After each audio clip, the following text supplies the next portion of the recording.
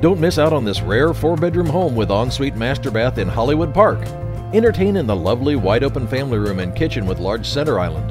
The backyard is great for relaxing on the patio or hanging out by the fire pit. The formal dining living room has many possibilities. The property is conveniently located and there's nothing to do but move right in. Hear all of the details when you call Jonathan Epstein